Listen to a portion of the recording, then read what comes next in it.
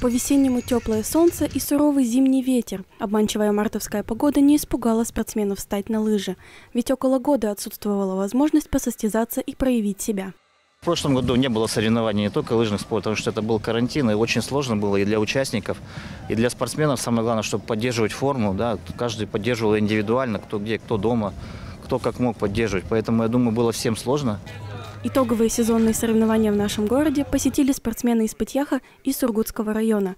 Дистанции распределили в зависимости от возраста и пола. Очень рад всех видеть. Сегодня пожелаю всем быстрой лыжни, честной борьбы. Сегодня у нас гонки с Мастарта, это контактные гонки. Михаил Кузьмин в биатлоне уже полтора года. На лыжне России призового места не занял. Участвует в первенстве с новыми силами и лучшей поддержкой. Мама и моя собака. У меня аж сердце трепещет, как я болею. Конечно, я хочу, чтобы он победил. Для него это очень важно. Гонки проходили с общего старта свободным стилем. Расстояние от 1 до 10 километров.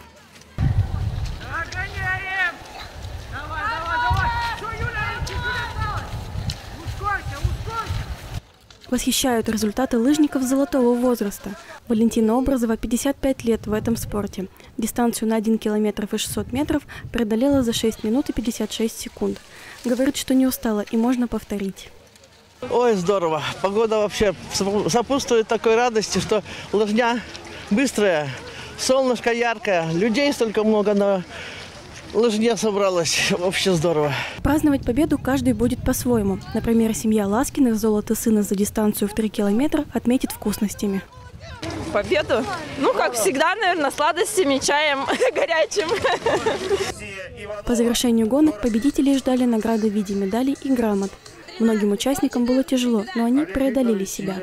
Мне тяжело было проехать, э, ноги дрожали, там мы- лыжи соскальзывали, палки тоже отлетали со снега. Теперь мы будем готовиться на Югорский марафон.